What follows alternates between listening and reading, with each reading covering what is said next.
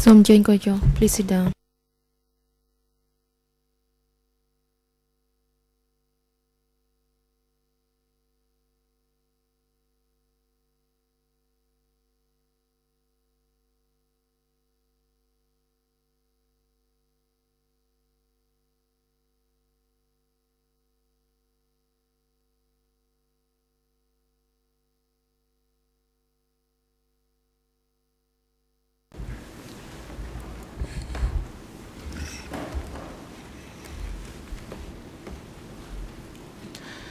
នៅ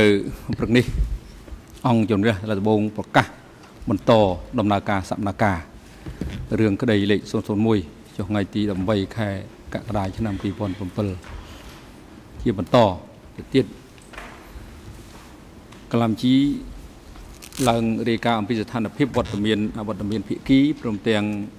សាក់សីដែលត្រូវបានកោះហៅឲ្យចូលមកដល់ចម្លើយនៅថ្ងៃនេះ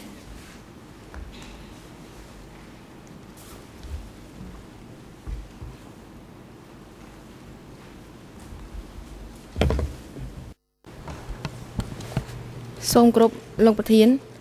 ភាគីដែលចូលរួមក្នុងដំណើរការនីតិវិធីថ្ងៃនេះមានវត្តមានគ្រប់ចំនួនអស់ហើយចំណែកឯសាក់សីក៏មានវត្តមានគ្រប់ចំនួនដែរសូមអរគុណក្លាមជីរៀបចំចាត់បញ្ចូល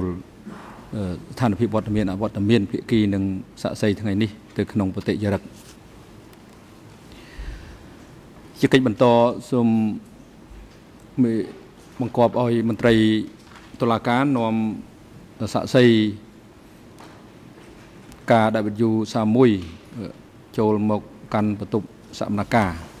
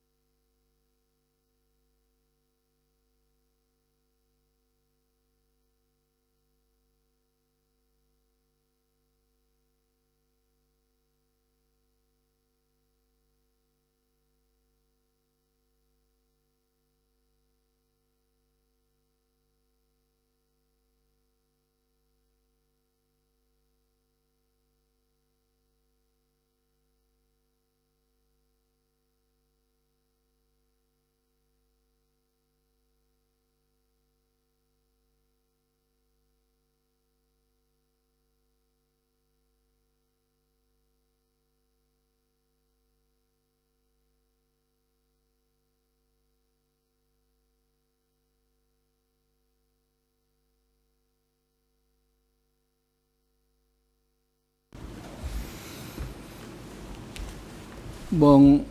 ឈ្មោះច័ន្ទវឿនអញ្ចឹងមែនទេ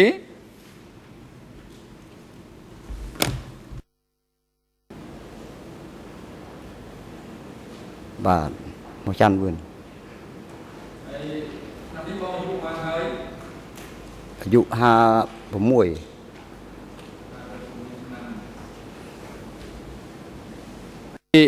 សប្ថ្ងៃនេះបងមានទីលំនៅនៅកន្លែងណាដែរ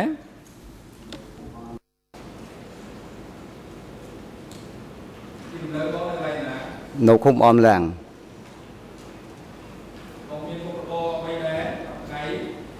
មុខរបរធ្វើត្រែចំការ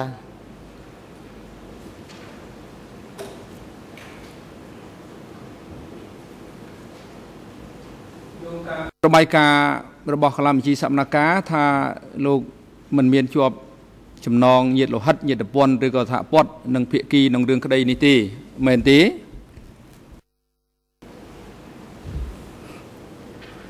មានមែន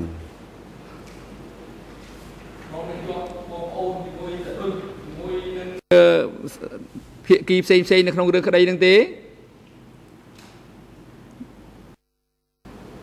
មានបាទតបអត់គេបះដែរជាមួយនឹងភាគីផ្សេងផ្សេងនៅក្នុងរឿងក្តីនេះទេ មានបងមានពូខ្ញុំកើតសយនៅភូមិពីម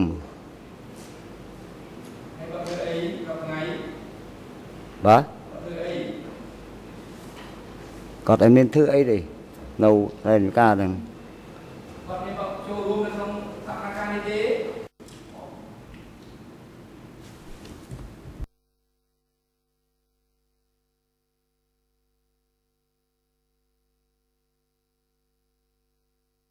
អត់អត់ទេបង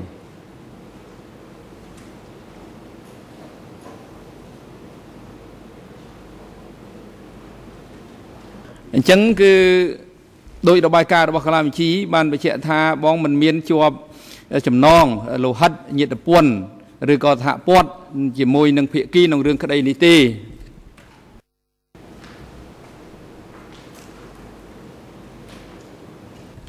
នៅក្នុង រឿងក្តីនេះអង្គជំរះបានអញ្ជើញបងមកធ្វើជាសាក្សីនៅក្នុងរឿងក្តីហើយក្នុងនាមជាសាក្សីអង្គជំរះតម្រូវឲ្យបងស្បត់ជាមុនមុននឹងផ្ដល់សក្ខីកម្មតើបងបានស្បត់រួចហើយឬនៅ បាទបានបត់រួចហើយ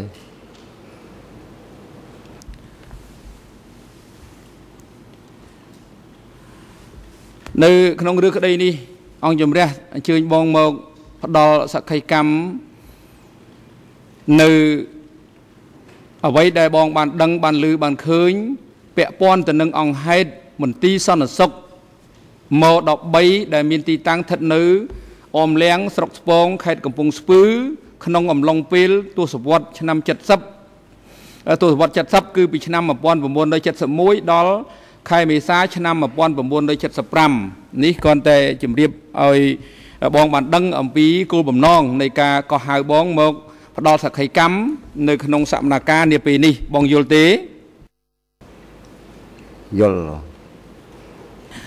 ជាបន្តនេះគឺអង្គជំរះសូមប្រាប់អំពីសិទ្ធិក្នុងនាមជាស័ក្តិសិទ្ធិស័ក្តិសិទ្ធិ អាចបដិសេធក្នុងការឆ្លើយទៅនឹងសំណួរដែលបានសួរឬ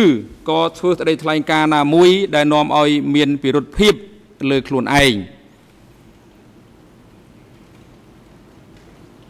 បងយល់ទេលើសិទ្ធិនេះ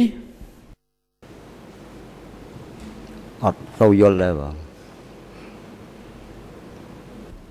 បានក្តីថាប្រសិនបើនៅក្នុងចម្លើយរបស់បង មានការពាក់ព័ន្ធទៅនឹងអំពើផ្សេងផ្សេងដែលកើតមានឡើងប្រព្រឹត្តដោយខ្លួនឯងបងអាចមិនឆ្លើយនឹងសំណួរឬក៏ធ្វើស្តីថ្លែងការណ៍អំពីបញ្ហានេះទេប៉ុន្តែបងអាចលើកអំពីហេតុផលផ្សេងផ្សេងទៀតទស្សនវិជ្ជាផ្សេងផ្សេងទៀតដែលបង បានឃើញបានដឹងបានឮក្រៅពីអំពើរបស់ខ្លួនឯងនេះជាសិទ្ធិដែលមិនធ្វើសក្ខីកម្ម ដាក់ពិរុទ្ធភាពលើខ្លួនឯង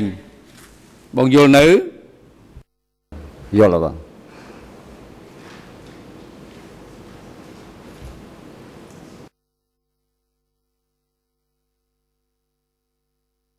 បងអាច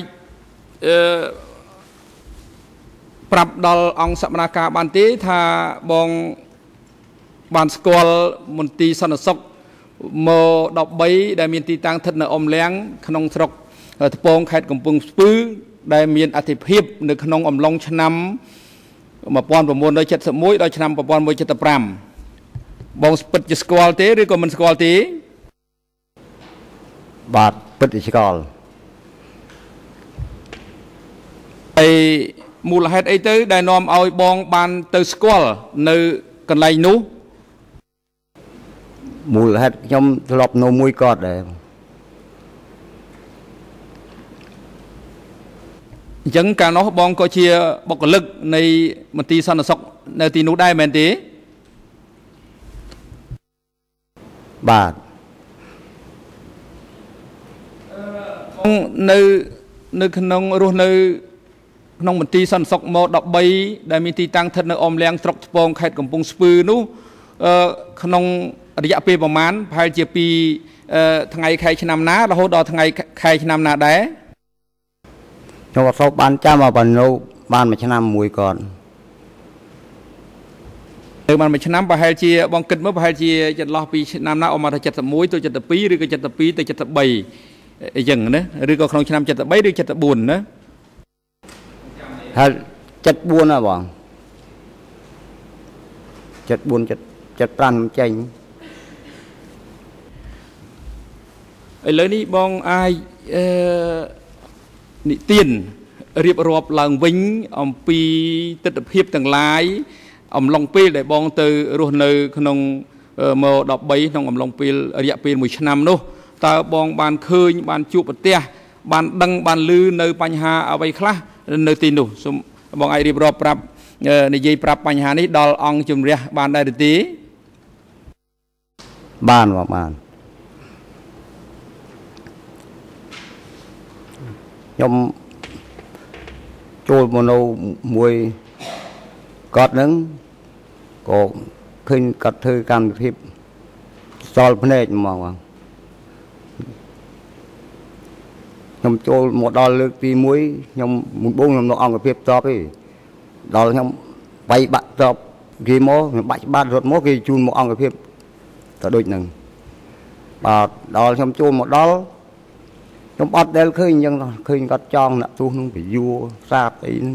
គឺឃើញពិតអញ្ចឹងហ្មងបាទធ្វើបាបអ្នកទូសនឹងគាត់ចង់ពយួរអញ្ចឹងទៅក៏វាយសួរមិនដែរសួរអីហ្នឹងខ្ញុំឃើញនឹងអស់នឹងចំពោះមន្ទីរទៅដូចហ្នឹងហើយខ្ញុំនេះក៏អត់ទៅបាននៅកន្លែងដែរគាត់ចាត់តាំងខ្ញុំនៅខាងសេដ្ឋកិច្ចនោះដើររកលែងត្រង់ក៏អោយដាក់ទួសនឹងហូប យូរយូរមួយខែឬកន្លះខែខ្ញុំមកចូលមន្ទីរនឹងម្ដងមិនដឹងខ្ញុំអត់បានដឹងទីភាពគាត់មិនអីថ្ងៃណាខ្ញុំមកដល់កន្លែងមន្ទីរហ្នឹងឃើញតែគាត់ធ្វើបាបអ្នកទោសរនកម្មនឹងហ្មងខ្ញុំអត់ដែលបាននៅជាប់ទេបាទហើយដើរមកខែឬមួយទឹកចឹងចូលម្ដងមកចូលថ្ងៃណាក៏គាត់ធ្វើចឹងហើយខ្លួនខ្ញុំបាទនេះនៅមួយគាត់នឹងក៏មានរឿងមួយគាត់ទៀត បាទទឹកបាប់ដល់រហូតខ្ញុំនឹងទៀតខ្ញុំខ្ញុំមានអស់របល់ប៉ុណ្ណឹងបងកាលនោះបងអាយុប្រហែលកាលនោះខ្ញុំអាយុប្រហែលជា20ជាងនេះបង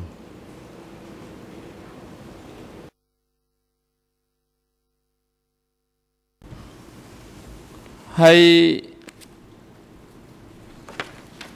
នៅទីនោះសរុបទាំងអស់ទាំងឈ្មោះដុចហើយនឹងអ្នកក្រមអង្គបគាត់រហូតដល់កងការពារនិយាយពីរឿងបុគ្គលិកសម្រាប់មន្ទីរនឹងមានចំនួនប្រហែលប្រមាណអ្នកទៅតាមបងដឹងមានច្រើនដែរបងប៉ាន់ខ្ញុំភ្លេចឈ្មោះខ្លះចាំខ្លះបាទវាច្រើនដែរហើយ10នាក់ជាងហ៎បង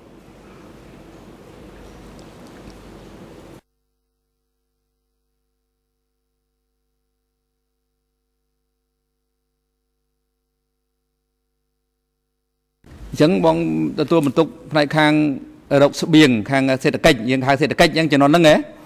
ហើយទទួលបន្ទុករកដើររកស្បៀងរកស្រូវអង្គផ្សេងផ្សេងមកផ្គត់ផ្គង់នៃមន្ទីរអញ្ចឹងបងមានដែរបានធ្វើជាកងការពារឬក៏ជាអ្នកសួរចម្លើយអីផ្សេងផ្សេងទេបាទខ្ញុំបានសួរចម្លើយអត់ទូទេព្រោះខ្ញុំនាទីនៅខាងសេដ្ឋកិច្ចនឹងបាទបើកងការពារកាលណាខ្ញុំមកពីរោរោអង្គអញ្ចឹងទៅ ពេលណាអត់មានកម្លាំងគាត់ប្រើខ្ញុំម្ដងម្ដងដែរបាទឲ្យជួយការពារនឹងបានមួយថ្ងៃពីរថ្ងៃអញ្ចឹងខ្ញុំចេញបាត់ទៅទៀតទៅរោសូវរោងកហ្នឹងចាំក្នុងកលតិស័កដែលបងបានឃើញនៅក្នុងអំឡុងពេលហ្នឹងជាមួយថ្ងៃជាមធ្យមអឺមានមនុស្សដែលទៅជាប់ឃុំឃាំងនឹងប្រហែលអ្នកទៅប្រហែលជាប្រហែលអ្នកទៅ បាទខ្ញុំបានឃើញជួនកាល10នាក់អញ្ចឹងទៅបាទដល់ខ្ញុំចេញទៅក្រៅយូរយូរមកដល់ឃើញថាអត់អត់10នាក់ផងដឹងជាមនុស្សនឹងទៅខាងណាខ្លះខ្ញុំអត់បានដឹងបាទនៅកន្លែងហ្នឹងបើខ្ញុំទៅជាប់ចឹងទៅអត់អីទេបើខ្ញុំចេញទៅក្រៅបាត់កន្លះខែឬមួយមួយអាទិត្យមក10នាក់ហ្នឹងនៅសល់ហើយតែ5នាក់6នាក់ទេនឹងទៅខាងណាខាងនេះនឹងគាត់បញ្ជូននឹងខាងណាខ្ញុំបានដឹងដែរ អស់លោកលោកស្រីចក្រមមានសំណួរអ្វីអឺត្រូវសួរដល់សាក់សីរូបនេះទេបើមានសូមអញ្ជើញ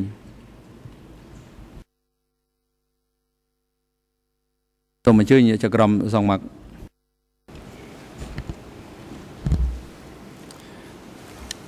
Est-ce Est-ce que nous pourrions tout d'abord demander à l'accusé de se lever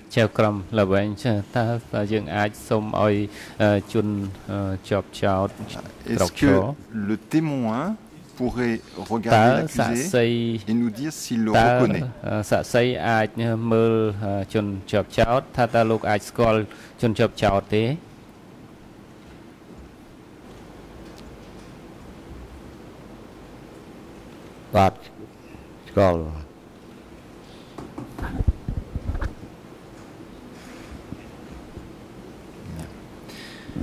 Vous pouvez vous asseoir.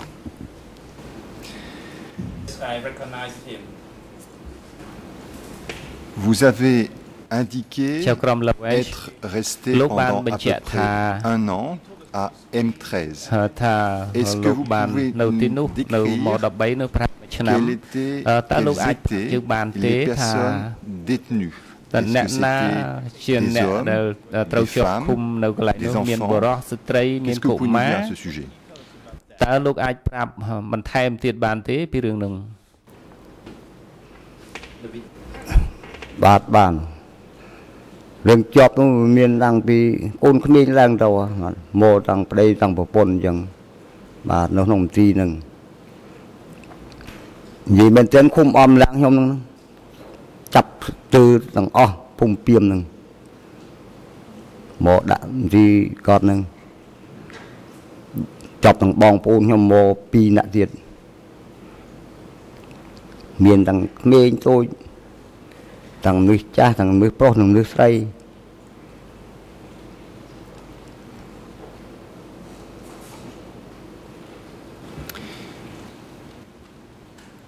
Quel âge avaient ces enfants តើកុមារទាំងអស់នោះច្រើនមានអាយុប៉ុណ្ណាដែរ ឧមានោះហើយអាយុជា4ឆ្នាំអីហ្នឹង3ឆ្នាំប៉ុណ្ណឹងតូចតូចដែរទេ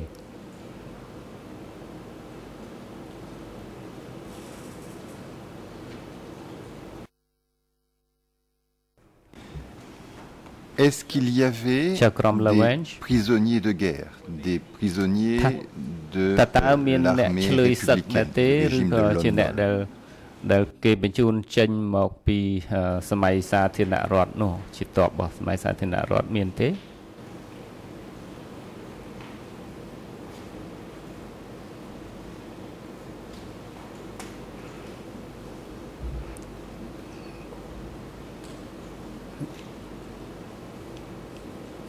ខ្ញុំដឹងតែបញ្ជូនទៅឃុំអមឡើងហ្នឹងមកឃុំខ្ញុំនឹងអ្នកទូសហើយវិញខ្ញុំអត់បានដឹងផងឃើញអ្នកទូសអមឡើង ហ្នឹងមិនខ្ញុំដឹង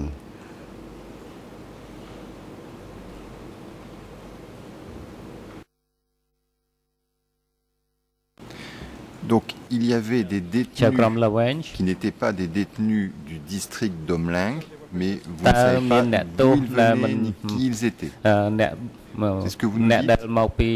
ខុសអឺអ្នកដែលមកពីអមលាំងហ្នឹងលោកមិនបានឃើញអ្នកណាផ្សេងក្រៅពីអ្នកដែលគេបញ្ជូនមកពីអមលាំងអញ្ចឹងមែនឬទេ បាទពិតអត់បានឃើញមែនបើខ្ញុំស្គាល់ទៅអ្នកអមឡើងហ្មង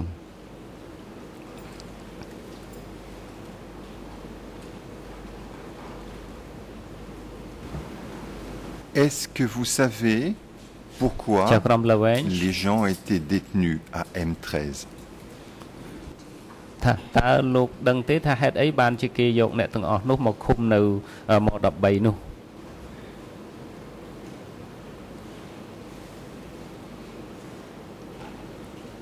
យកមកខ្ញុំអត់សូវបានដឹងអីទេប៉ុន្តែគាត់ថាយកមកទឹកអ្នកទូអ្នកគិញអីបានចាប់មកនាទី13ហ្នឹង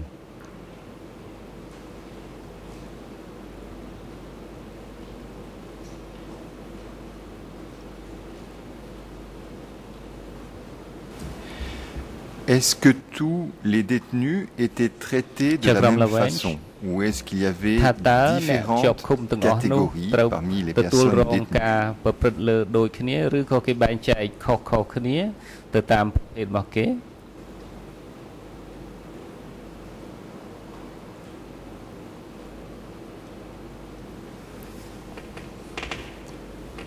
អត់សូវស្ដាប់បានទេបងមិញ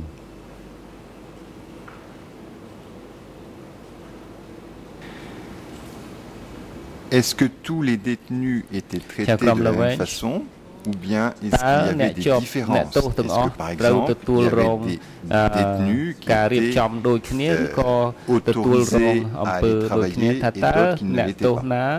ត្រូវបានគេអនុញ្ញាតឲ្យចេញទៅក្រៅការទេឬក៏អ្នកខ្លះមិនត្រូវបានគេអនុញ្ញាតឲ្យចេញទៅធ្វើការទេបាទមាន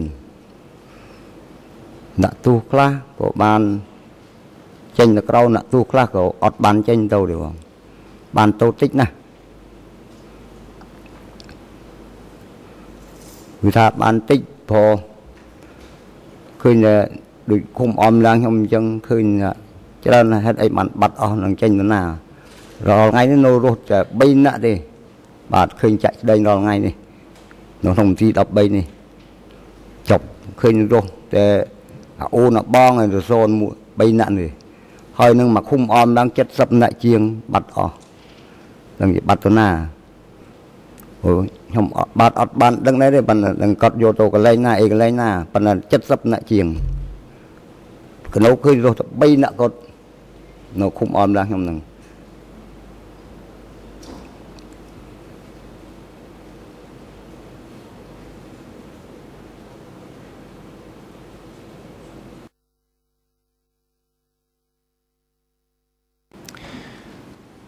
Ce que vous nous dites, c'est que pendant Chakram l'année Lavange. où vous Euh, avez ouais, des été Loban en Phạm Dương, fonction donc, euh, à M13, អឺក្នុងឆ្នាំ Vous avez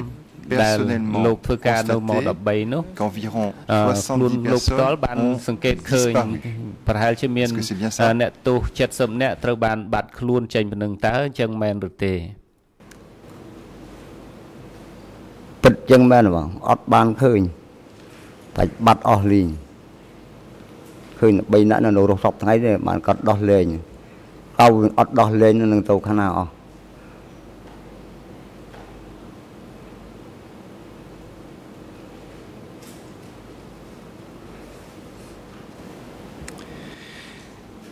Est-ce que vous pouvez nous dire ជាក្រុមលវែង quelles étaient les conditions de តើ détention លោកអាចប្រាប់យើង Où បានទេ étaient ថា précisément អ្វី les détenus Est-ce លក្ខខណ្ឌនៃ qu'ils ការ étaient ឃុំខ្លួនទៅនោះដូចម្ដេច Est-ce ដែ que រ vous pouvez nous dire ថា s'ils étaient តើ enchaînés អ្នក si- ឃុំ où ខ្លួន est-ce គេ qu'ils ដាក់ étaient កន្លែង placés ណាខ្លះគេដាក់ច្រវាក់អឺតើគេស្លៀកពាក់អ្វីនៅកន្លែងអឺឃុំខ្លួននោះបាទខ្ញុំនិយាយការពិតរឿងកន្លែងឃុំខ្លួននឹងបាទគឺមានកម្ដៅគុក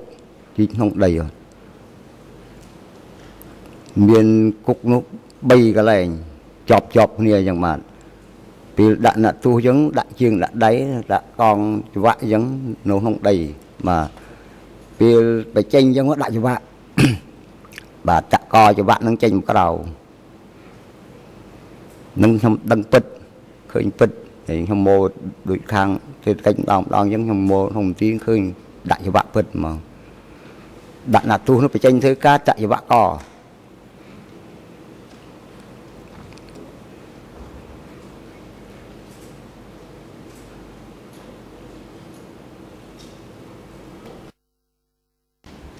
Vous dites qu'il y avait trois prisons. ជាក្រុមលវែង Est-ce que vous លោក pouvez បាននិយាយថា décrire ces មាន prisons Qu'est-ce que អ្នក c'est ទោ que ស ces prisons 3នាក់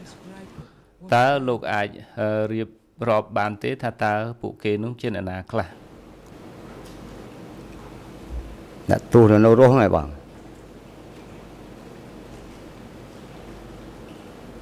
នៅរស់ដូចខ្ញុំរៀបរាប់មិញអញ្ចឹងដែលបាន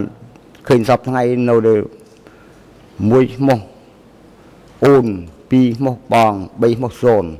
ដែលចប់មន្ទីរគាត់ហ្នឹងគាត់ដោះលែងបាទឃើញនៅរស់3ហ្នឹង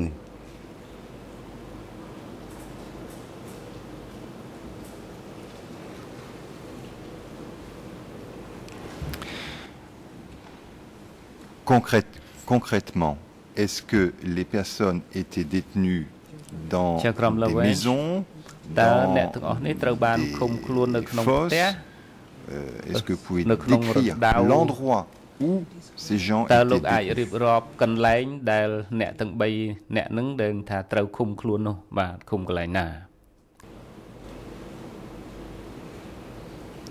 ដាក់ទាំង3មុនបួងគាត់ជាប់ហើយគាត់ដោះលែងចម្រាលនៅក្រៅនៅក្រៅគុកវិញ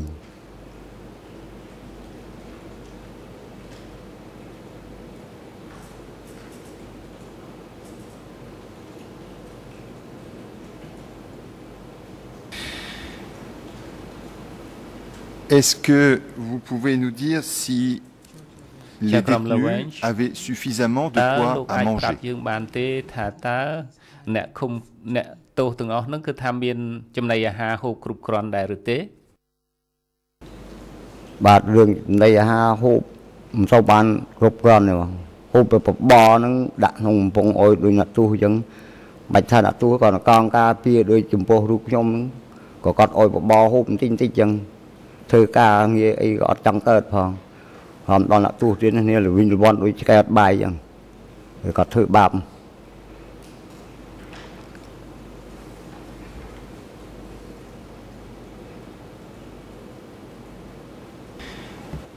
Est-ce que vous avez constaté si Chers Kram les Lawrence, détenus tao mangeaient la lúc même bạn chose sẽ que le kể khơi- personnel ថាតើ Et Est-ce que dans le អ្នក personnel, ទោសទាំង tout le អស់នោះ monde mangeait la បាន même chose របបអាហារដូចគ្នាដូចជាបុគ្គលិកអ្នកនៅម៉13ទេឬក៏ទាំងអស់គ្នាហូបអាហារបបរដូចគ្នានោះបាទអ្នកទូសក៏ហូបបបរអ្នកកងការពារនឹងក៏បបរដូចគ្នាប៉ុន្តែគាត់បបរខុសអ្នកទូសបបររាវកងការពារបបរខាប់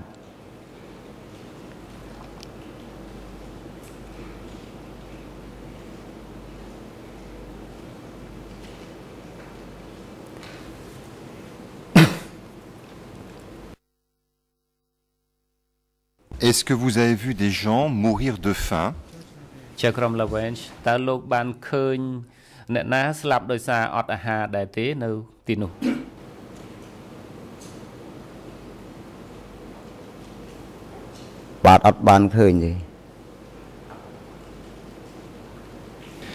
Est-ce que vous avez vu des gens, est-ce que vous avez vu des détenus mourir de maladie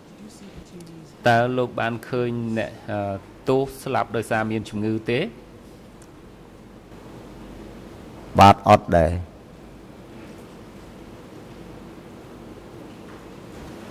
Est-ce que vous avez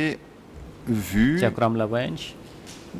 constaté qu'un jour il y avait eu des pluies très តើ importantes លោកបានស à ង្កេតឃើ M13 ញអឺនៅចំណុចណាមួយ et que cela avait pu causer des នៅពេល problèmes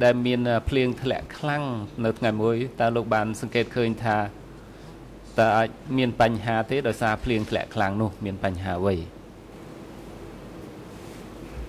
បាទក៏ព្រៀង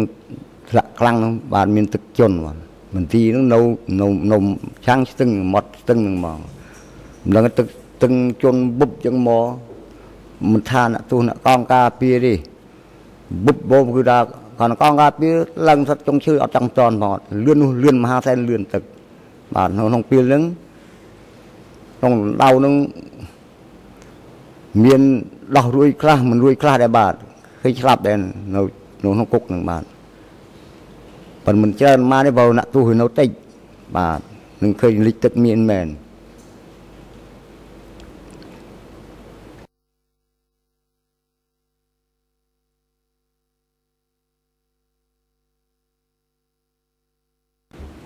Ce que vous nous dites, c'est que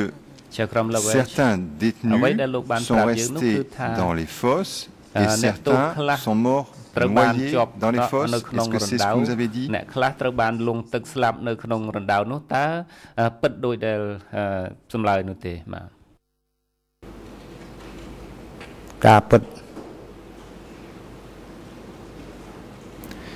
C'est quel, quelque chose que vous avez vu personnellement? ជាអ្វីដែលលោកបានឃើញដោយផ្ទាល់ភ្នែករបស់ខ្លួនផ្ទាល់ហ្នឹងបាទ បាទបានឃើញ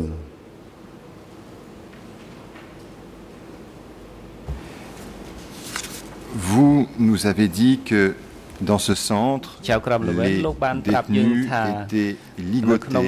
ligotés et ម៉ qu'ils 13នោះ étaient គឺថាអ្នកទោស interrogés. ត្រូវបានគេចង Est-ce que vous pouvez nous ហើយគេ décrire បានសួរ plus ចម្លើយអ្នក précisément នោះ ce que តើ vous លោក avez បានប្រាប់ vu អាចប្រាប់យើងឲ្យ des ច្បាស់ជាង interrogatoires បានទេ Est-ce qu'il y avait des អ្វីខ្លះដែលលោក méthodes បានឃើញ particulières តាក់ទង pour ទៅនឹងការសួរ interroger ចម្លើយ les détenus តើគេប្រើវិធីអ្វីខ្លះក្នុងការសួរចម្លើយអ្នកទោសនឹងបាទ บาดตามที่บานเคยคือสู้จำเลยจะสาดคอสาดเอายังไวสู้จำเไรบาดหนาตูยังเคยจอดพเนจยำบาท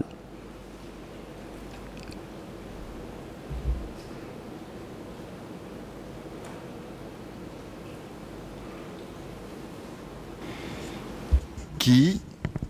qui effectuait les interrogatoires ហើយនរណាជាអ្នកសួរចម្លើយនោះ បាទគឺតែដូចនឹងហ្មង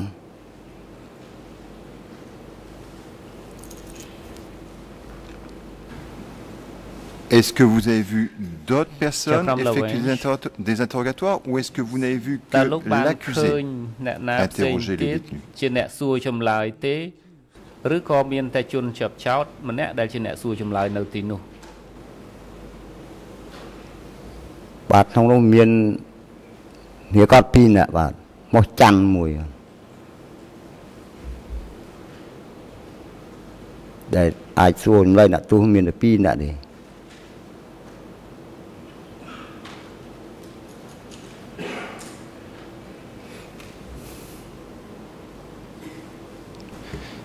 Ce sont deux personnes en Chakram plus de Lawench. Douk ou c'est Douk គឺថា Et une autre personne. មានតែ2នាក់អឺអញ្ចឹងមានតែ2នាក់មានតែដូចហើយនឹងម្នាក់ទៀតទេ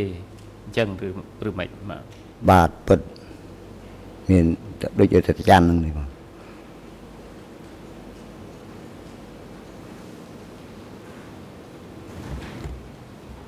Vous nous avez dit que vous avez vu, si j'ai bien ច compris, ក្រមលវែង que vous avez vu Douk តាមដែលខ្ញុំយល់ Porter ច្បាស់ពី des coups. លោកនោះគឺលោកបាន C'est ce que vous ឃើញ avez dit? ដូចអឺវាយអ្នកទោសតើអញ្ចឹងពិតទេ បាទពិត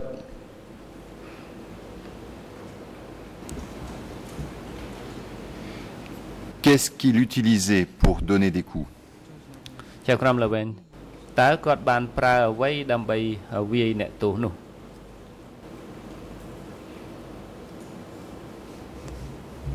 ប្រើជួនកាលដំបងយើងនឹងធម្មតានឹងវ័យអ្នកទោសសួរអញ្ចឹង ហូចបើម្នាក់ទៀតនោះខ្ញុំឃើញគាត់ហូតដល់ដុតទាំងរស់ទៀតនោះបាទចាប់បយួរចង់បយួរឲ្យដុតទៀតនោះនឹងធូរមីងខ្ញុំទៀតខ្ញុំអត់ហ៊ានមកទេឬក៏ក្នុងកាលណាមកទៅគេថាយើងនឹងតែរយៈអីខ្ញុំខ្លាចដែរនឹងដែលឃើញគាត់ធ្វើរនកម្មពិតច្បាស់នៅភ្នែកខ្ញុំនឹងចង់មានដាក់ ពេញដាក់អីដុតគ្នាដោះអោអស់នឹស្រីបាទ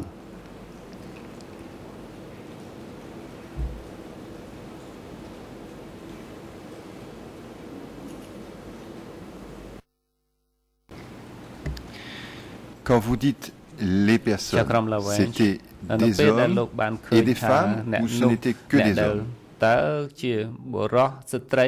ឬក៏អឺគ្រាន់តែជាមនុស្សធម្មតាអាចសម្គាល់បានទេពេលនោះបាទ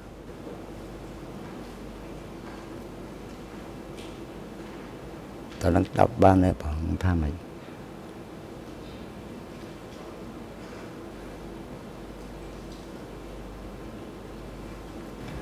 Alors, je vais répéter. ជាក្រុមល្បែង Vous avez ខ្ញុំ dit បញ្ជាក់ឡើងវិញ que vous avez vu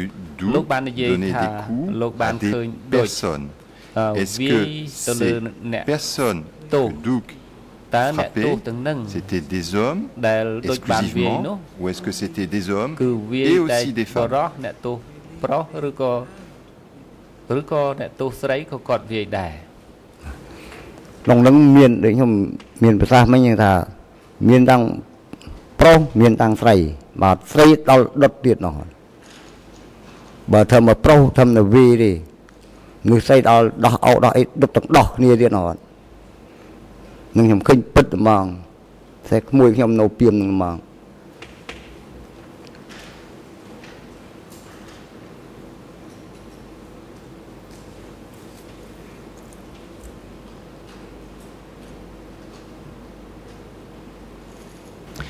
Donc, vous avez personnellement vu Duke brûler la poitrine de femmes à l'aide d'une torche. C'est bien ça?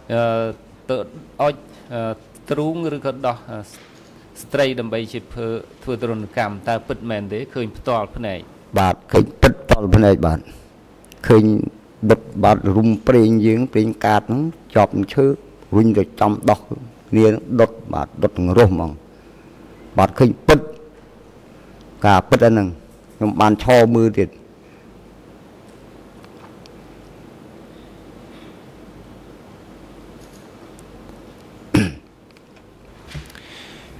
Est-ce que cela s'est passé Chakram Lawang. plusieurs fois ou une seule fois តើហេតុការណ៍នោះវាកើតឡើងអឺជាញឹកញាប់ឬក៏កើតឡើងតែម្ដងទេ បាទកើតតែម្ដងនឹងឃើញតែម្ដងដុតដុតមនុស្សស្អីនឹងឃើញតែម្ដងឃើញម្នាក់ហ្នឹងទេនិយាយចំតែឃើញម្នាក់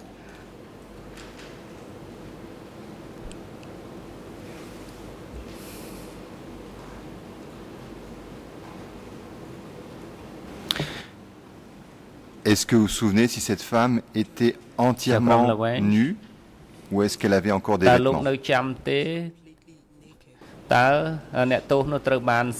សនោះត្រូវបានអឺស្រាតនៅគេសម្រាប់នៅនល់កោកឬក៏នៅមានសម្លៀកបំពាក់អ្វីខ្លះដែរនៅពេលដែលគេធ្វើទរណកម្មនោះ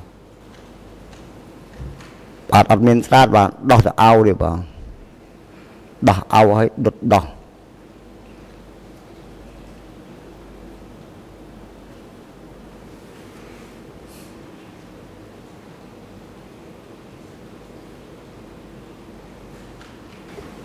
Est-ce que vous avez vu des Chakram Lawang. détenus pendus par Ta les lúc bạn pieds pour khơi- être interrogés អឺអ្នកទោសបានគេចងព្យួរជើងឡើងលើទេ នៅពេលដែលគេសួរចម្លើយនោះ បានឃើញប៉ុន្តែគាត់តែអត់មានជួជាងឡើងលឺបាទចង់តែដៃចង់ស្លាប់ពេកយើបយួរដើមឈើអញ្ចឹងបាទសាតខសាតអោអស់ចង់យួរអញ្ចឹងនឹងបានឃើញពិត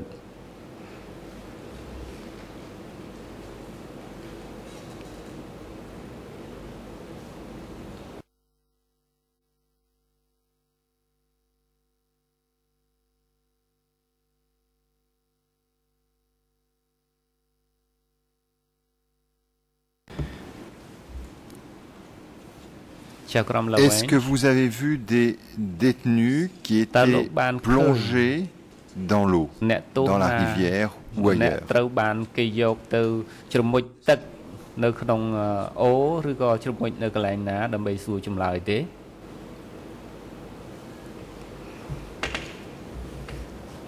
ខ្ញុំបានឃើញប៉ុន្តែខ្ញុំអត់ភ្លេចឈ្មោះបាត់ដែរ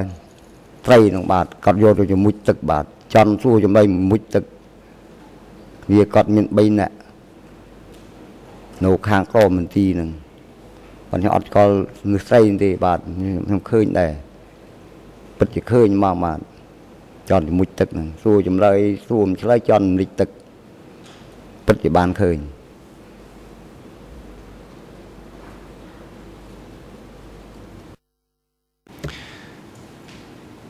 Quand vous dites immergé dans l'eau, Chakram Lawang. c'est-à-dire que tout le នៅ corps ពេល était ដែល dans l'eau, លោកនិយាយ y ថា compris ជ្រ la មុជ tête, អឺ ou ជ est-ce ន់ជាមួយក្នុង que ទឹកនោះ seulement លោកនិយា la យថា tête était dans l'eau អឺជ្រមុជគឺថាដងខ្លួនទាំងមូលឬក៏ជន់តែក្បាលពលិចទេបាទបាទចន់រំលិចទាំងអស់ហ្នឹងបាទនេះថប់ហើមគិតខកខកងើបមកចំទៀតបាទ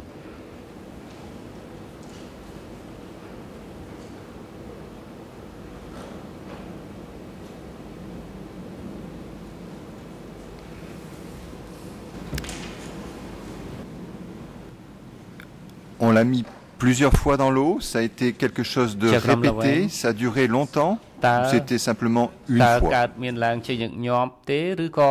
អឺប្រើពេលយូរទេឬក៏គ្រាន់តែកើតម្ដងហ្នឹងលើកក្រោយមិនមានទេ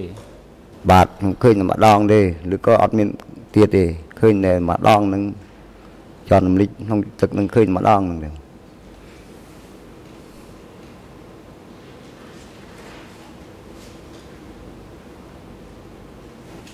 Est-ce que vous avez vu que lors Chakram Lawan. d'interrogatoire, on pouvait តើលោកបានឃើ utiliser ញ des pinces ថានៅក្នុងពេលសួរ Est-ce ចម្ que vous លើយ avez នោះ vu qu'on ait pu តើ mettre គេប្រើឧ des ប aiguilles ករណ៍អ្វីតើ dans លោ les កបាន doigts, ឃើញ sous les ongles des ឬក៏ថា détenus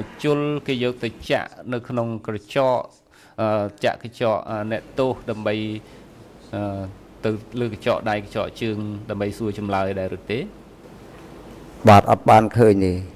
សួរចម្លើយដែរឬទេ បាទអត់បានឃើញទេ S'agissant de l'accusé, ចាក្រមលវែង est-ce que vous avez vu ឥឡូវនេះតក l'accusé តងទៅនឹងជនជាប់ tirer ចោត sur des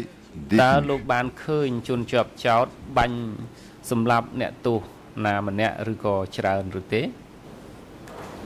តបាញ់សម្លាប់អ្នកទោសណាម្នាក់ឬក៏ច្រើនឬទេតែនឹងខ្ញុំសុំបាទសុំឆ្លើយការពិតបាទឃើញពូខ្ញុំកើតតសោយនឹងហ្មងគាត់បានចងចប់បកគូលមួយ ចងចប់បកគូលហើយគាត់បាញ់កម្រាការពីរគ្រាប់បាទបាញ់មកគ្រាប់4បងចំពីដៃនេះមកទលីកនេះមកគ្រាប់ទៀតមិនចំដើមទ្រូងនេះគាត់បានដាច់ចោលតាត់បាទនឹងពូខ្ញុំកើតដែរនឹងទៅដូចនឹងបាញ់ពូខ្ញុំចំឡាប់មុខខ្ញុំនឹងមក ខាងណាខ្ញុំនឹងខ្ញុំកងការពាររហូតដល់គាត់ដាក់គុកខ្ញុំទៀតនោះបាញ់ដល់ពូខ្ញុំស្លាប់នៅបកគូលទៀតខ្ញុំនិយាយអួលដើមក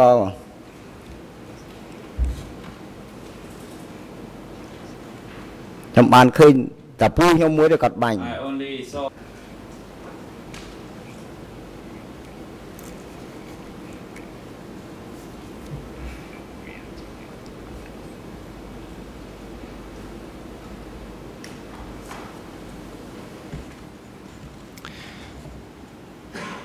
Est-ce que vous avez vu d'autres scènes Chakram Lawan. où Duke Ta lok ban aurait khơi. tiré sur des អ détenus ឺចាប់អឺហេតុការណ៍ណាមួយឬក៏បដិហេតុណាមួយដែលដូចបានសម្លាប់អឺបាញ់ទៅរកអ្នកទោសដើម្បីសម្លាប់នោះបាទដឹងមកហើយឃើញគាត់ចង់ជាប់បកគូលនឹងមកដឹងរឿងហេតុអីសួរចម្លែកអត់ឆ្លើយដឹងអីដឹងបានគាត់ទៅធ្វើអញ្ចឹងបាទអូចំពូខ្ញុំកើតទៀតបាទ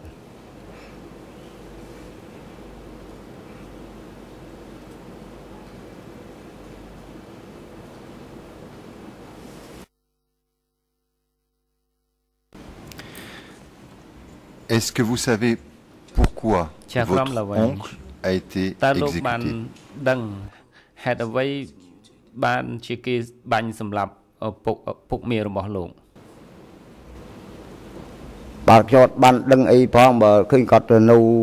ក្នុងគុកនឹងសាច់ទេថ្ងៃមួយពេលព្រឹកនឹងបាទឃើញគាត់ចង់ជាប់គ្រូបានចង់វាយសួរចម្លើយបាទហត់តែខ្ញុំកំពុងអង្គុយជក់បរិយបាទសុបផាំងខ្ញុំយ៉ាក់ព្រឹត មិនអត់ទូឆក់ភ្លើងបាញ់កងការពារទៅដល់មើលទៅឃើញពូខ្ញុំនោះញ័រទៅទឹកនៅបកគូលគាត់ដាក់មកក្របទៀតដួលមកដល់ដីហ្មងបាទដឹងជារឿងអីខ្ញុំអត់បានដឹងដែរព្រោះគាត់ដាក់សួរចម្លើយ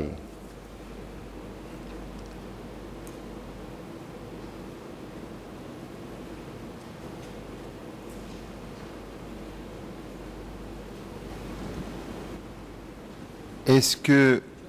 vous Chakram avez Lawan. été à l'extérieur de M13 et est-ce qu'à តើលោក Certaines នៅខាង occasions, ក្រៅមក vous avez pu 13 constater នៅពេលណា qu'il y មួយ avait des តើលោកបា endroits ន où on ឃើ pouvait ញ trouver des cadavres អឺអ្វីទេក្នុងករណីគឺថាមានកន្លែងមួយដែលថាអឺលោកបានឃើញមានសាកសពមនុស្សច្រើននៅកន្លែងនោះដែរឬទេ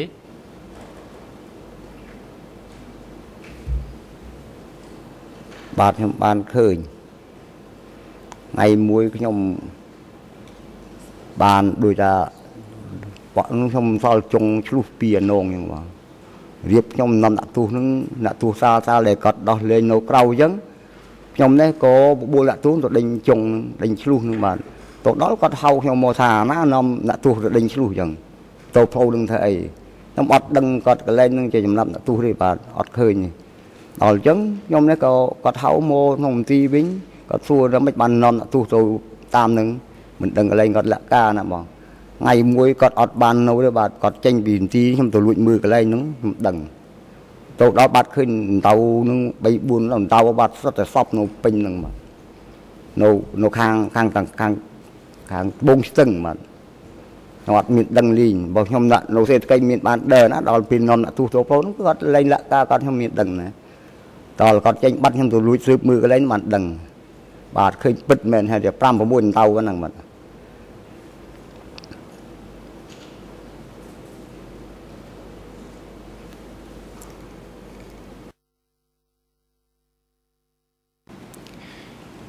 Qu'est-ce qu'il y avait dans les fosses ចៅក្រមល្វែងតើមានអ្វីខ្លះនៅក្នុងរណ្ដៅទាំងនោះបាទក្នុងដៅនោះមានឃើញសពនៅក្នុងហ្នឹងបាទ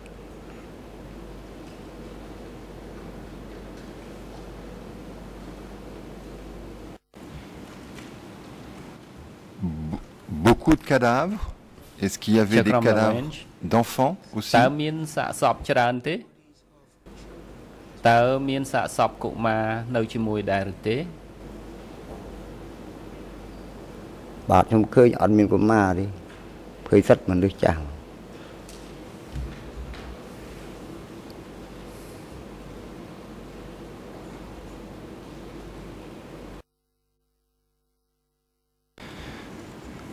Vous avez dit tout à l'heure que vous aviez eu ចៅ un ក្រមល្វែង problème ពីមុនលោកបាន avec បញ្ជាក់ថា Duc. លោក Est-ce que vous pouvez nous Ban- expliquer quel était Yok ce Mien Panya problème Chimoy que Doi. vous avez eu avec តើ l'accusé អ្វីជាបញ្ហារឿងដែលមានរឿងជាមួយអឺដូចជាជនជាប់ចោតតើលោកអាចបញ្យល់យើងបានទេ បាទបានតែខ្ញុំមានរឿងមួយគាត់នេះគាត់អោយខ្ញុំយាមដាក់ទូបាទខ្ញុំដូចតែមកពីខាងរោសេដ្ឋកិច្ចអោយដាក់ទូអញ្ចឹងគាត់ខ្វះកម្លាំងការពារ ក៏អោយខ្ញុំយក3នាក់ទៅយាមធ្វើទំនប់បាទដល់ធ្វើទំនប់អញ្ចឹងខ្ញុំបាទវាអស់កម្លាំងពេកបាទងុយដេកដាក់ទូនឹងកាត់ច្បាក់ដាច់រត់បាទរត់ទៅខ្ញុំនេះក៏បាញ់លឹងលឺពីរក្របបាញ់យកកងការពារផ្អិលឈុលគេថាដាក់ទូរួចកាលណាគេថារួចខាងឈ្មោះវឿនបាទអឺអញ្ចឹងហៅវាម្នេះបាទទៅដល់ដោះខោដោះអោដកទាំងកាភ្លើងខ្ញុំមកអស់ទៀតបាទនៅតែខខ្លីគាត់ខ្ញុំ មកដល់មន្ទីរហ្នឹងគេយកទាំងសក្កដោទៀតគាត់រឹងដេកអត់អោយផងបាទហើយគាត់បញ្ចូលក្នុងគុកបាទចូលខ្ញុំដាក់ក្នុងគុកតាំងពីគាត់ដាក់គុកខ្ញុំទៅកោខ្ញុំនឹងគាត់បញ្ចេញធ្វើការយាមក៏គាត់យាមតលដៃគាត់ដែរទៅដូចហ្នឹងបាទក៏ភ្លឺអាការមិនដែរបាទបានថ្ងៃមួយខ្ញុំភ័យពេកបាទរបងគុកអាស័យមកខ្ញុំហែករត់ទាំងយប់បាទម៉ោង2ដល់យប់ រត់នៅនៅហាក់កគេអុយហាក់កជួយខ្ញុំតែខ្ញុំត្រូវស្លាប់នៅមន្ទីរទៅដូចហ្នឹងហ่ะបាទមានគេសឹបប្រាប់ខ្ញុំទៀតតែតែមិនរត់ងាប់ហ่ะពូកងមិនបាច់ថាដាក់ទូដាក់ការពីទេតានឹងអុយតែខុសអត់បាញ់ហើយបាទបើគាត់និយាយមុខឈ្ងួតមិនអីទេយ៉ាហោហោបន្តិចហ្នឹងណាធុងសើចហ្នឹងណាប្រយ័ត្នមែនទេកងការពីហើយជើងឡោបាទខកខៃណាតានឹងនឹងខ្ញុំជាប់គុកដោយសារខ្ញុំអុយរួចអត់ទុះទេ គាត់ដាក់គុកខ្ញុំនឹងហើយបានខ្ញុំទៅនៅសហកលសហកលមកធានាបានគាត់លេងខ្ញុំទៅបានខ្ញុំនៅរស់រាល់ថ្ងៃហ្នឹងបាទគាត់ធំនៅមួយគាត់ហ្នឹងហើយស្លាប់បាត់ដូចអត់ទុះអញ្ចឹង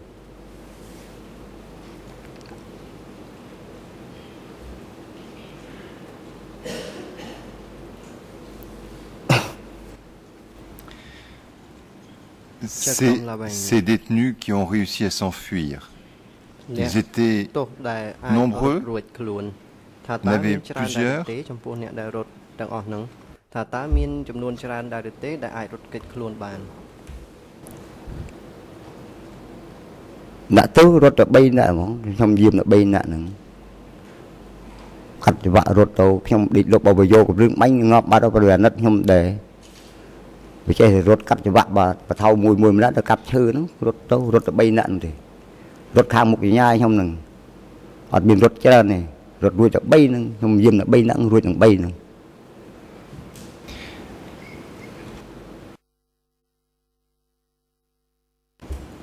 Est-ce est-ce que vous les ចាំ connaissiez ក្រុមឡាវែង et est-ce que vous ថា les តើលោក avez ស្គាល់អ្នកទោស aidés ទាំងអស់ à នោះដែរ s'enfuir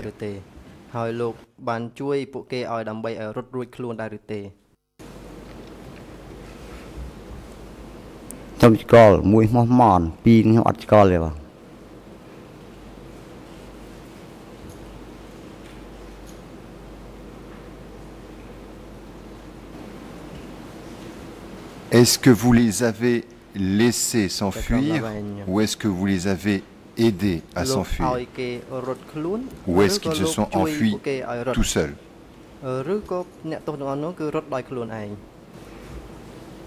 បាទអ្នកទូនោះសុំខ្ញុំរត់ខ្ញុំអោយកាត់ចង្វាក់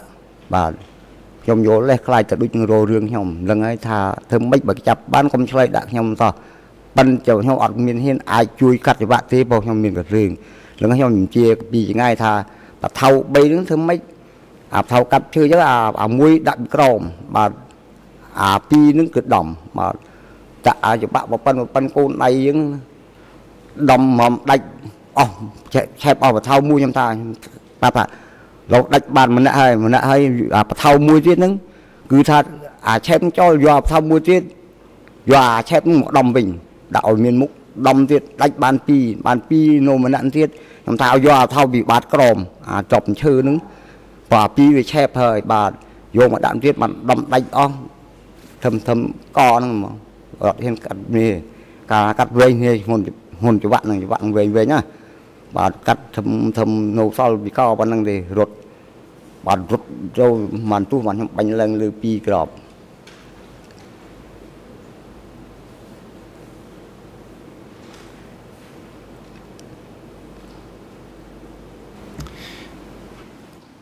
Quand ils se sont échappés, D'accord, là-bas, c'était à l'extérieur du Le camp pays d'un- C'était des Rot- détenus qui étaient Tata, autorisés à Tata, travailler Tata, ou c'était Mo- dans le Bay. camp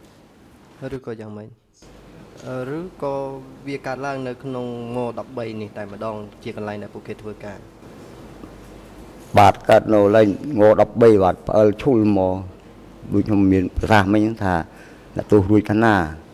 រួចខាងខ្ញុំព្រោះខ្ញុំអត់ហ៊ានប្រាប់តង់ប្រាប់ថាខ្ញុំដេកលក់អត់មានប្រាប់ថាដោះលែងទេព្រោះថាដោះលែងគឺខ្ញុំនឹង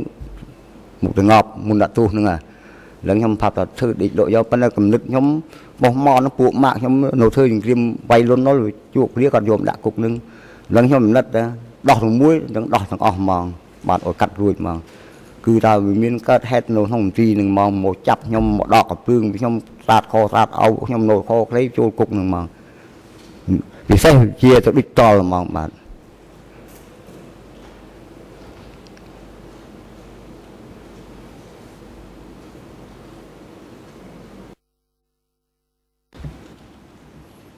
Vous avez revu Douk quand vous êtes revenu après avoir été à la coopérative. Est-ce que vous l'avez revu Et qu'est-ce qu'il vous a dit à ce moment-là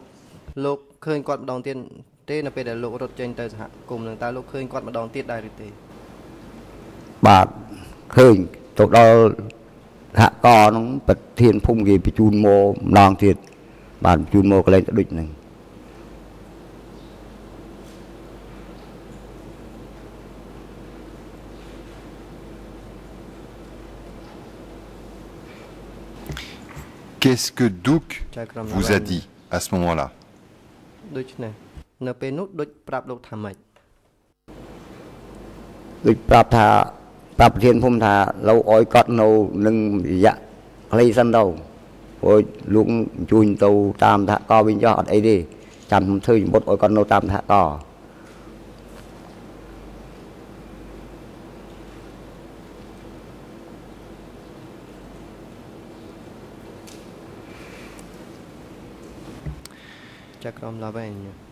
Est-ce que vous savez quand et comment M13 a cessé de fonctionner? Est-ce qu'à un moment, il n'y a plus de prisonniers à M13 Est-ce que vous le savez et quand est-ce que c'est arrivé?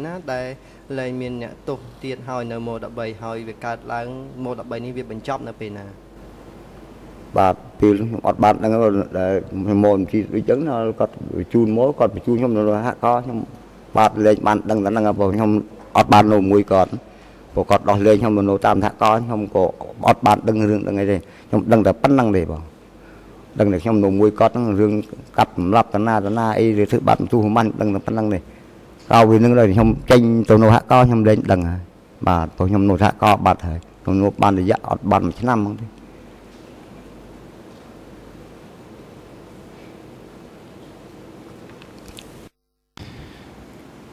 Vous nous avez parlé de votre oncle. Est-ce que d'autres personnes de votre famille ont été détenues à M13 ou est-ce que d'autres personnes de votre, famille ont été employées à M13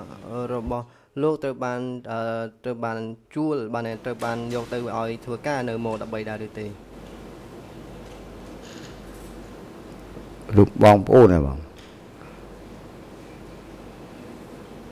ទៅនេះតែបត់សូបបាននេះ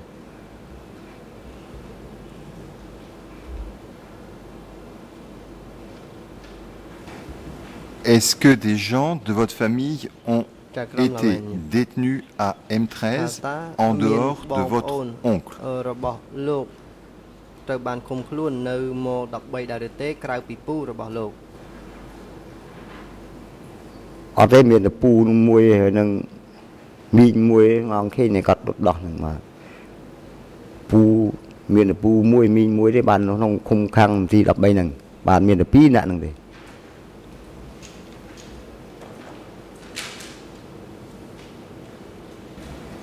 Est-ce que d'autres membres de Chakram votre Lavanya. famille, et peut-être des neveux, ont តើមាន été បងប្អូន employés ដទៃ comme ទៀត gardiens ពូ ou comme ដូចជា personnel ក្មួយ à ផ្សេងៗដែល M13 ត្រូវបានគេយកទៅធ្វើជាអ្នកយាមនៅម៉ោ13ឬក៏ជាបុគ្គលិកម៉ោ13ដែរឬទេ បាទអត់មានទេ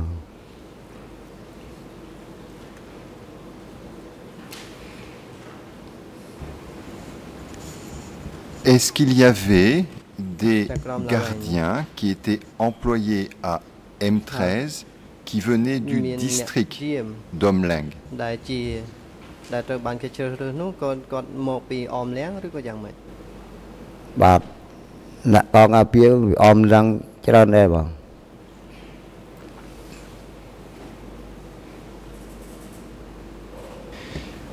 Quel âge avaient ces gardiens?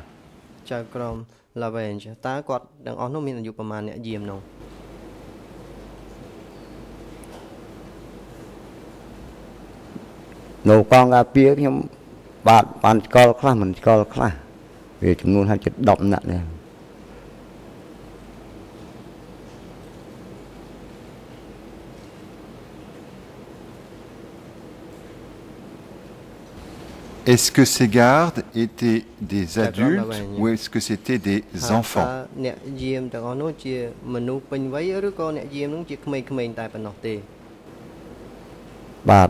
មានតូចមានធំយ៉ាងដែរលីគ្នាបាទកងការពារគាត់មានធំដូចជាខ្ញុំនឹងហើយ5 6នាក់យ៉ាងទៅក្មេងក្មេងកុមារយ៉ាងទៅ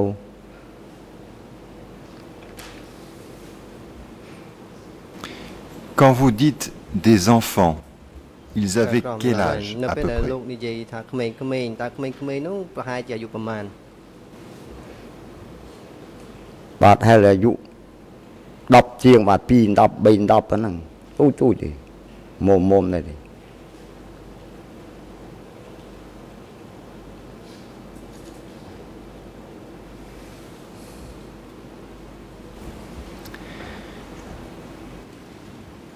Est-ce que vous avez Chakram vu Lavanya. Douk Vous avez dit tout à l'heure qu'il avait tiré sur votre oncle, mais est-ce que vous l'avez vu ordonner à des gardes et éventuellement à des enfants de tirer sur des détenus ou de les emmener pour être exécutés.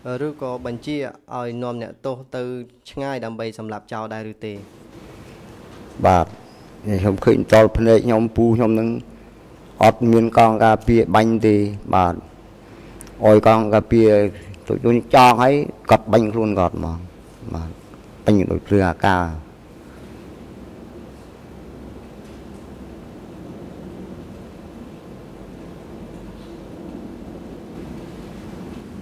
Est-ce que en dehors de votre oncle, de la- du cas de votre oncle, dans Chakram d'autres Lavanya. situations, ប៉ុន្តែ vous avez ក្រៅ vu ពីពូ Douk របស់លោក ordonner តើលោកឃើញ à ទុ des ចបាន gardiens បញ្ជាអ្នកយាម de tirer Ao sur des détenus.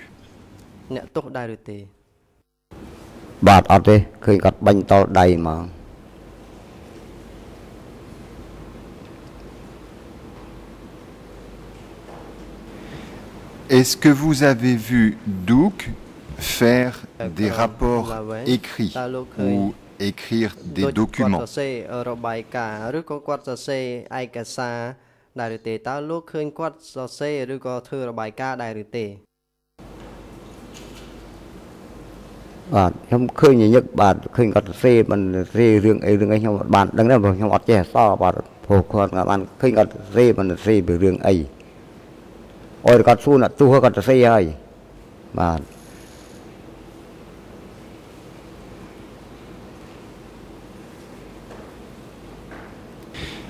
Est-ce qu'il y avait des papiers de différentes couleurs?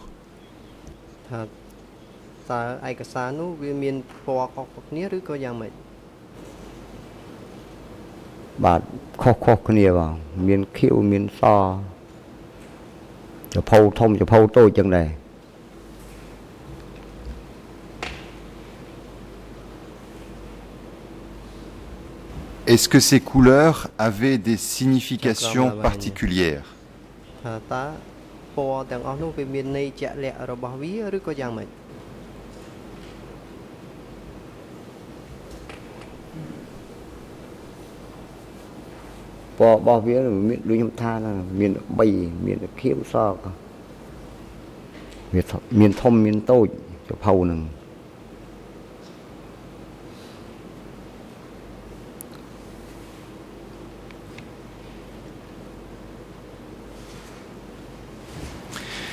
Est-ce que le rouge signifiait quelque chose de là-bas. précis?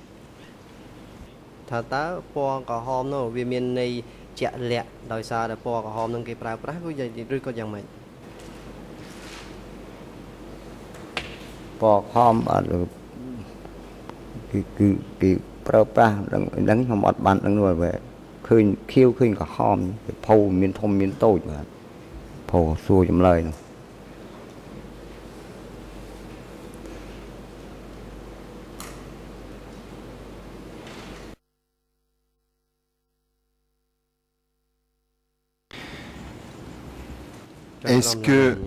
après votre départ de M13, vous avez eu Bon, toi, à puis l'autre, nouveau Jacques, puis l'occasion de moi, après. rencontrer Douk ថាតើលោក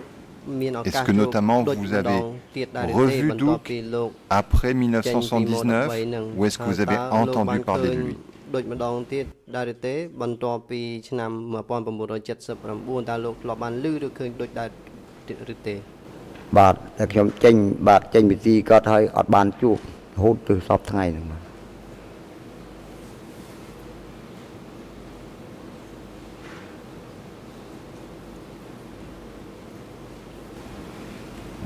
Je n'ai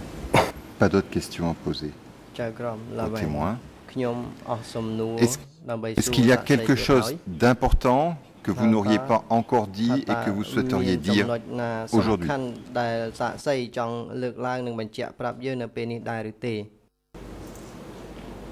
បាទអត់មានទេបងខ្ញុំដឹងតែប៉ុណ្្នឹងទេ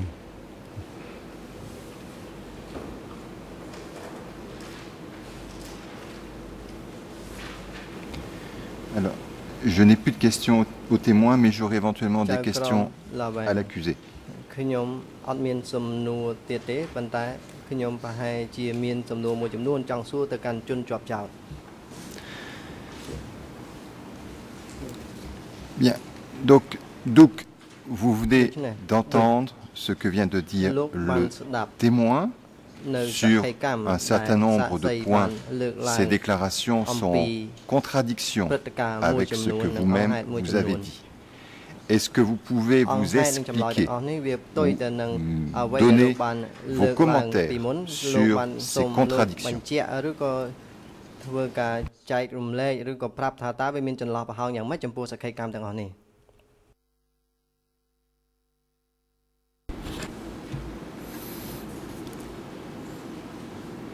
លោកចៅក្រមជាទីគោរពដំបូងខ្ញុំសូមជម្រាបថា ច័ន្ទវឿននេះច័ន្ទវឿននេះមិនមែនជាបុគ្គលិករបស់មន្ទីរ13យើងខ្ញុំទេ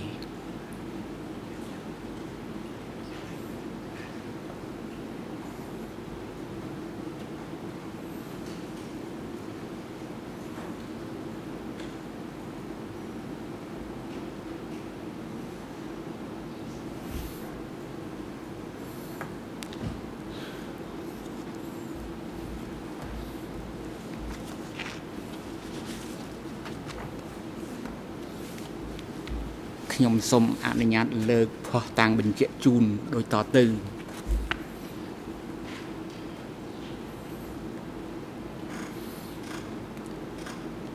ច័ន្ទវឿនបានរាយការណ៍ជូនការិយាល័យសហប្រតិ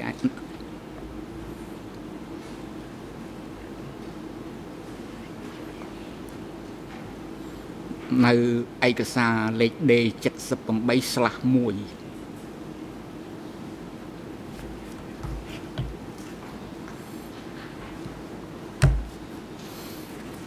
គាត់ ថ្លែងការថាមានម្នាក់ទៀតឈ្មោះប៉ុនជាអ្នកសួរចម្លើយដែរប៉ុន្តែដូចបានសម្លាប់គាត់បាត់ទៅហើយប្រហែលនៅក្នុងឆ្នាំ1974សេចក្តីថ្លែងការណ៍នេះនៅទំព័រទី3នៃឯកសារ D78/1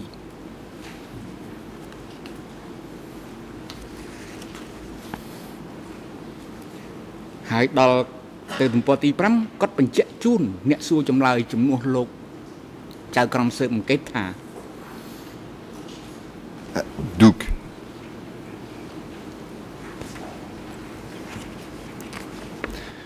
pour l'instant, je ne vous demande pas de dire quelles sont les contradictions dans le témoignage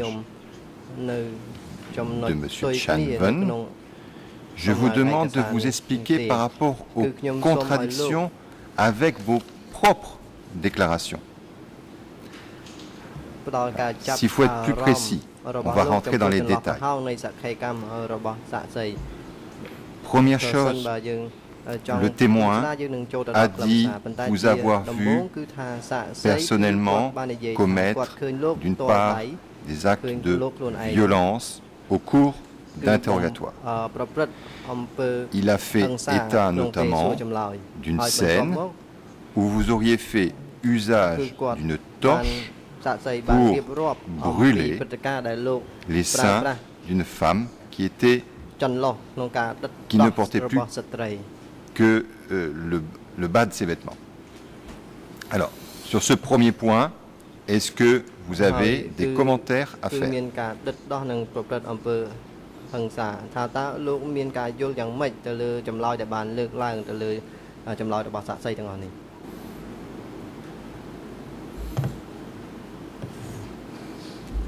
ខ្ញុំបញ្ជាក់ថាច័ន្ទបឿនមិនមែនជាបុគ្គលិករបស់មន្ទីរ13នេះជាមូលហេតុចំណែកសក្ខីកម្មរបស់គាត់ មានរឿងខ្លះគាត់ពោទាំងស្រុង ឯចំណែករឿងខ្លះគាត់ឮតាមគេហើយយកមកប្រឌិតថែមដូច្នេះវាមានរឿងខ្លះពិតដូចជារឿងថា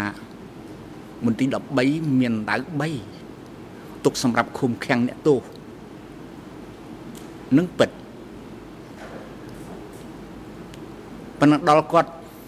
មិនមែនជាបុគ្គលិករបស់មន្ទីរ13គាត់ឆ្លើយថាគាត់ចេញទៅតាក់ទងសេដ្ឋកិច្ច យូរយូរមកម្ដងឃើញអំពើខុសខើរបស់ផ្ទាល់ខ្លួនខ្ញុំយ៉ាងនេះមួយយ៉ាងនោះពីរខ្ញុំសូមបញ្ជាក់ថារឿងដែលខ្ញុំបាញ់ជនរងគ្រោះដែលទៅជាប់ទោសនៅក្នុងខ្ញុំចាំឈ្មោះអ្នកដែលរងគ្រោះដែលខ្ញុំឲ្យគេបាញ់ដូចខ្ញុំបានរាយការណ៍ជូនមកហើយមិនមែនឈ្មោះសយទេគឺឈ្មោះយើ ហើយអ្នកដែលបាញ់ក៏នៅខ្ញុំបានបញ្ជាក់ថាមិនមែនបង្កាន់ទេគឺមិត្តយើងម្នាក់ផ្សេងទៀតនេះជារឿងមួយដែលវាមាននៅក្នុងមន្ទីរ13ក៏ប៉ុន្តែបុគ្គលនេះ ប្រែទៅគេថាឪពុកមាគាត់ខ្ញុំមិនជឿថាមានអ្នកណាមួយឈ្មោះសយឬសយអីត្រូវខ្ញុំបាញ់ទេអត់ឯចំណែករឿងដុតដោះស្រីសម័យខ្លួនមិន ប្រាប់ថាចន្លោះទេ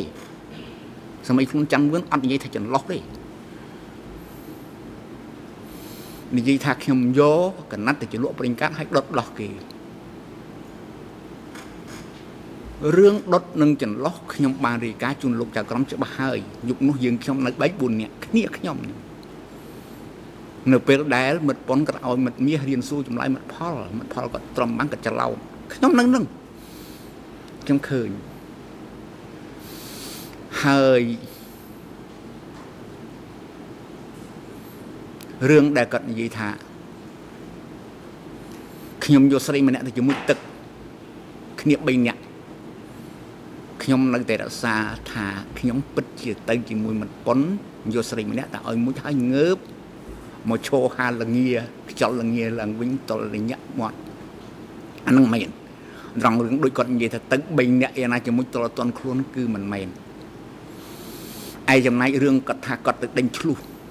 តាក់ឆ្លុះខ្ញុំគ្មានអនុញ្ញាតឲ្យកងការពារណាចេញទៅតាក់ឆ្លុះទេជារឿងផោទេ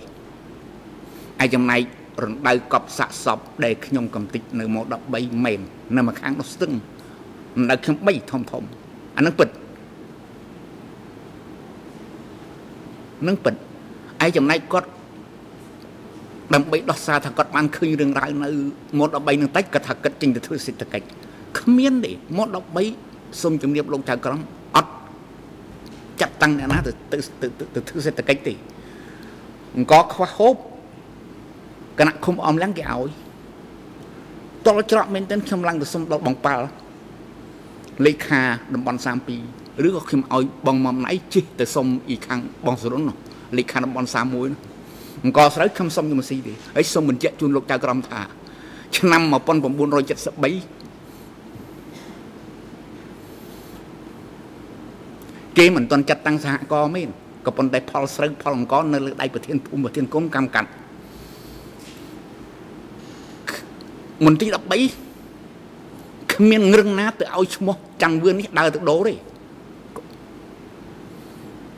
យកកណាត់ពីណាយករឹងពីណាទៅឲ្យចាំងវឿនដើរដូរ អត់មានទេផោមួយខ្ញុំចាត់តាំងសេដ្ឋកិច្ចណាឈ្មោះតាសយណាខ្ញុំគ្មានស្គាល់តាសយណាទេបុគ្គលិកមន្ទីរ13គ្មានឈ្មោះចាំងវឿនហើយក៏គ្មានឈ្មោះតាសយដែរដូច្នេះដោយសារតែគាត់មិនមែនជាបុគ្គលិកមន្ទីរ13នេះហើយបានជាបង្កើតរឿងប្រឌិតច្រើនណាស់ឯចំណែករឿងដែលខ្ញុំឲ្យគេបាញ់សម្រាប់មនុស្សម្នាក់អានឹងពិតជាមានមែន មិនមែនឈ្មោះសយទេឈ្មោះយឺហើយរឿងដែលគាត់និយាយថាប្រជាជននៅឃុំអំលាំងអស់70ខ្ញុំគិតថារឿងប្រជាជននៅឃុំអំលាំងខ្ញុំក្រកក្ដួលទើសឥឡូវខ្ញុំរំលឹកឃើញឈ្មោះបច្ចុប្បន្ននេះឃើញបានប្រហែលមកភ្លេចផ្លាយអ្នកខ្ញុំថាយ៉ាងច្រើនចុះ50ខ្ញុំអត់ទៅជែកគាត់ទេឲ្យគាត់បាននិយាយបញ្ជាក់ថានៅរស់2នាក់មែនអា2នាក់នោះខាងលើមិនឲ្យចត់ប្រកាន់ទេ ឪពុកវាគេចាប់មានខំភឿងគេចាប់អា2នាក់នឹងឈ្មោះបងអាអូននឹងកូនភ្លោះដល់ក្រោយមកពេលឡានទៅពោធិ៍សាត់ខ្ញុំឲ្យទៅទាំងម្ដាយផងឲ្យទៅទាំងអាពីរអ្នកកូនភ្លោះនឹងផងហើយប្រហែលជាដោយទាំងបងសូននឹងទៅទៀតនេះជារឿងពិតដូច្នេះប្រឡប់ប្រឆារឿងពិតនឹងរឿងមិនពិតព្រោះគាត់តាមពិតគាត់មិនមែនជាបុគ្គលិករបស់មន្ទីរ13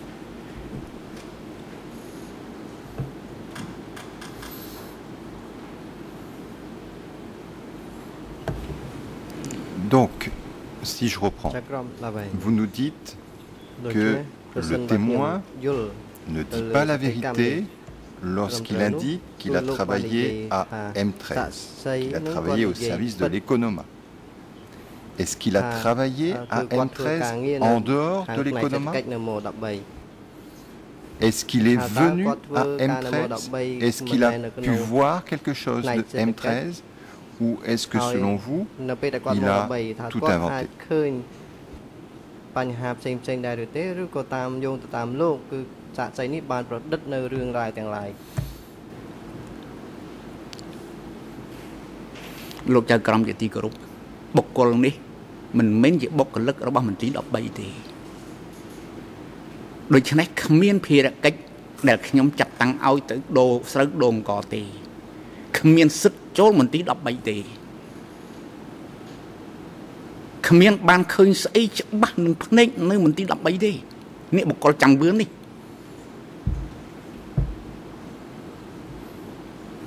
ដូច្នេះរឿងទាំងអស់ដូចខ្ញុំបានជម្រាបលោកចៅក្រមហើយ ជារឿងប្រឌិតទាំងស្រុងឬក៏ជារឿងលឺតាមគេហើយយកមកប្រឌិតថែមឬក៏និយាយពិតខ្លះដូចជាដៅ3 មិនដៅមាន3 4 5នាក់អីអានោះមែនសរុបមកវិញច័ន្ទវឿនមិនមែនជាបុគ្គលិកមន្ទីរ13មិនមែនជាបុគ្គលិកសេដ្ឋកិច្ចរបស់មន្ទីរ13គ្មានបានឃើញអីផ្ទាល់ភ្នែកនៅមន្ទីរ13ទេឯចំណែកអក្រិតកម្មរបស់ខ្ញុំទៅលើប្រជាជននៅអមលៀងខ្ញុំនៅតែចង់ចាំអត់ភ្លេចទេនេះវាជារឿងមួយធ្ងន់ធ្ងរដែរសម្រាប់សតិអារម្មណ៍ខ្ញុំឯចំណែកសក្ខីកម្ម ស្អីគេណានេះខ្ញុំអត់ទទួលទេ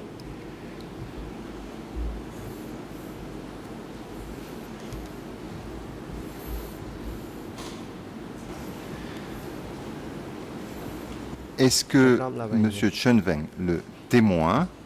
a entendu ce que l'accusé vient de dire Et est-ce qu'il nous est-ce qu'il a des commentaires à faire? Est-ce qu'il confirme ses précédentes déclarations? ou est-ce qu'il souhaite faire des rectifications?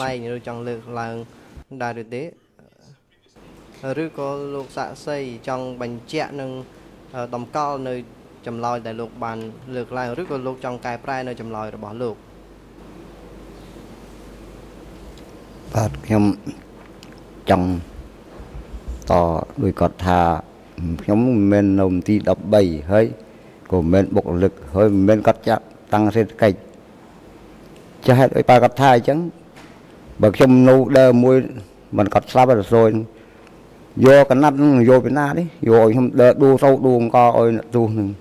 ជាពិតចឹងមកដល់គាត់និយាយអត់មិនមិនខ្ញុំដាក់ដើរហើយព្រោះថាខ្ញុំមិនមែនលេខបុគ្គលិកលេងគាត់ណា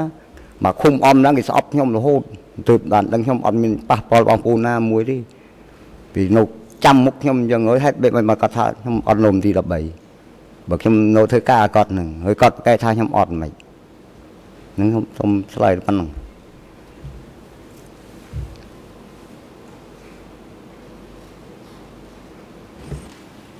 Est-ce que le témoin peut nous dire s'il a eu connaissance d'un détenu qui a été à M13 et Qui était quelqu'un qui avait coupé la tête d'une autre personne. Est-ce que c'est une histoire qui euh, lui évoque des souvenirs?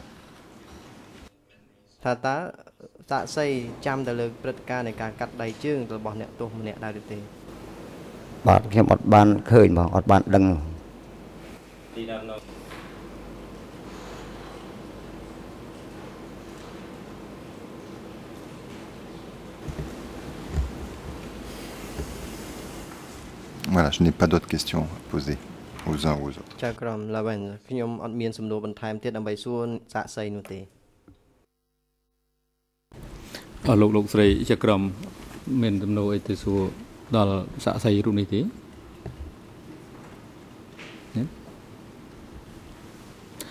បាទបើអត់ទេអង្គជំរះប្រកាសសូម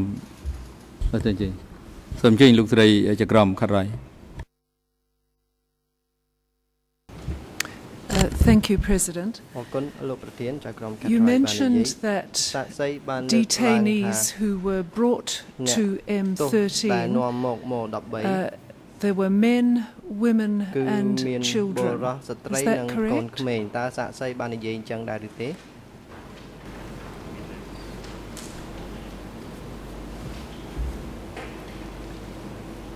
ខ្ញុំ And you mentioned that the children were young, 3 to 4 years old. Is that correct? គឺមានអាយុ3ទៅ4ឆ្នាំតើត្រឹមត្រូវដែរឬទេជាត្រឹមត្រូវ During the times that you were in the camp at M13 how many children did you see លោកបានឃើញក្មេងប៉ុន្មាននាក់ឃើញក្មេងចំនួន3នាក់នេះ កូនក្មេងតូចតូច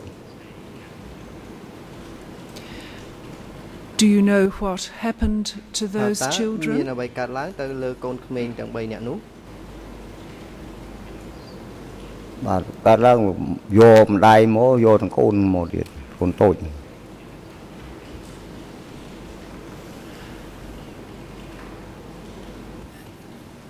And were any of those children from Amliang district? ក្មេងនៅក្នុងចំណោមទាំង3នោះមានក្មេងណាមួយមកពីអមលៀងដែរឬទេក្នុងលោកសុទ្ធនៅអមលៀងមក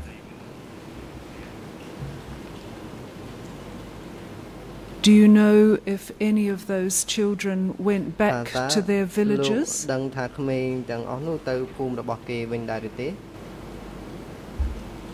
បាទអត់ទេ ទាំងម្ដាយនឹងក៏បាត់កូនក៏បាត់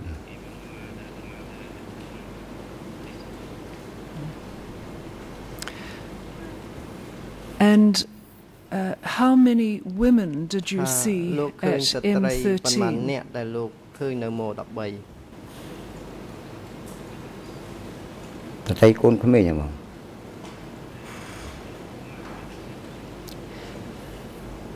detainees who were women whether they had children with them or not ថាតើអ្នកទោសស្ត្រីនោះតើគាត់មានកូនទៅជាមួយគាត់ដែរឬទេបាទឃើញស្ត្រីមានកូន3បាទមិនដឹងកូនបងណាបងណាខ្ញុំបាទដឹងមិនឃើញកូនក្មេង3នាក់បាទដែលចាប់មកទាំងម្ដាយទាំងកូននឹងបាទ And were there other women detainees who did not have children with them អ្នកទោសផ្សេងផ្សេងទៀតដែលជាស្ត្រីហើយគាត់មិនមានកូននាំទៅមកជាមួយដែរឬទេបាទអត់ទេ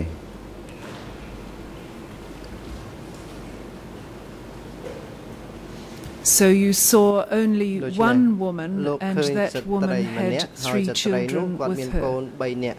ទៅជាមួយគាត់ ឃើញផ្សេងផ្សេងគ្នាបងឃើញកូនក្មេង3ប៉ុន្តែកូនបងណាបងណាមិនដឹងទេប៉ុន្តែចាប់មកតាំងម្ដាយទាំងកូនទាំង3កូនតូច3ដោយទាំងកូនតូច3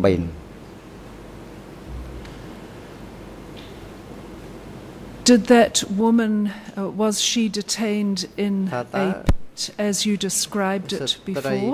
នោះត្រូវបានគេឃុំខ្លួនដូចអ្វីដែលលោកបានលើកឡើងពីមុននឹងមែនដែរឬទេបាទម្ដាយវានោះទៅ ទៅដូចនឹងឃុំខ្លួនបាទហ្នឹងហើយមកតកូនតូចមកចាប់ពីភូមិមកបាទម្ដាយមកដល់យកតកូនតូចមកហើយ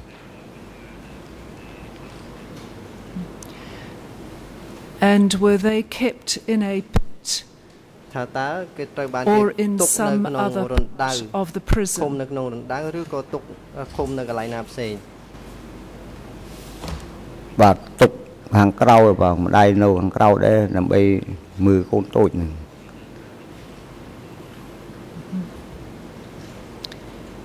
Yes thank you អរគុណអង្គជំរះប្រកាសសម្រាប់20នាទីរហូតដល់ម៉ោង11ខ្វះ10នាទីសូមអញ្ជើញចូលវិញមន្ត្រីតុលាការជូនសាក់សីរូបនេះទៅបន្ទប់រងចាំហើយនាំគាត់មកកាន់ទីនេះវិញនៅឲ្យបានមុនម៉ោងកំណត់